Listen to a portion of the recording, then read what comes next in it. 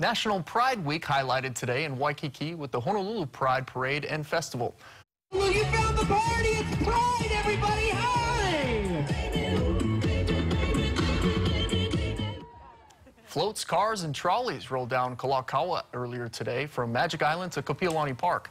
There were more than 3,000 marchers and 15 floats. Sponsored by Alaska Airlines and Hawaii LGBT Legacy Foundation, Honolulu Pride is Hawaii's largest LGBT festival.